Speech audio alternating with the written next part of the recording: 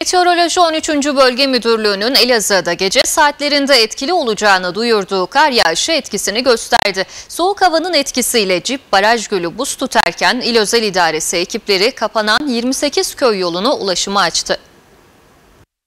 Meteoroloji 13. Bölge Müdürlüğü'nün uyarısını yaptığı kar yağışı etkisini gösterdi. Elazığ'da gece saatlerinden itibaren kar yağışı kent genelinde etkili oldu. Meteoroloji 13. Bölge Müdürlüğü tarafından paylaşılan verilere göre kar yağışı cumartesi günü gün boyunca aralıklarla kendini hissettirirken yağış pazar günü de devam edecek. Karla karışık yağmurlu bir havanın beklendiği pazar günü Elazığ'da en düşük hava sıcaklığı eksi 3, en yüksek hava sıcaklığı 4 derece olacak. Verilere göre yeni haftada kar yağışı yağışı beklenmiyor.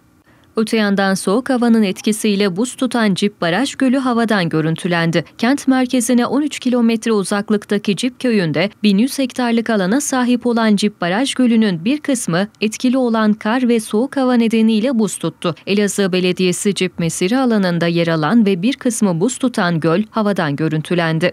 Yoğun kar yağışı nedeniyle 30 köy yoluysa ulaşıma kapandı. İl Özel İdaresi ekipleri de karla mücadele çalışmalarına başladı. Valilik koordinesinde İl Özel İdaresi Genel Sekreterliğine bağlı karla mücadele ekipleri 96 personel ve 57 araçla kapalı durumda bulunan 30 köy yolundan 28 köy yolunu ulaşıma açarken kapalı olan iki köy yolundaysa çalışmaların devam ettiği bildirildi. Karla mücadele çalışmaları ile ilgili açıklama yapan Elazığ Valisi Doktor Ömer Toraman, beklediğimiz kar yağışı bereket getirecek inşallah dedi.